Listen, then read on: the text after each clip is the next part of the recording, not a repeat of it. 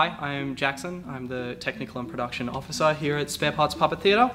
So basically I've just been working over the past week to bump Night Zoo into the theatre here.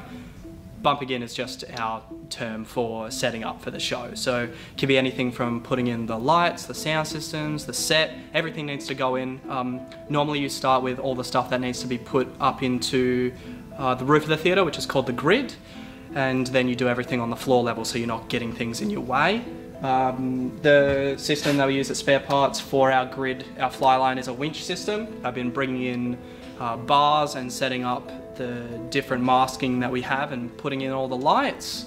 And today I'm going to be keeping on going with that and doing some more stuff with the sound system and then hopefully finally getting in the rest of the set by the end of the week.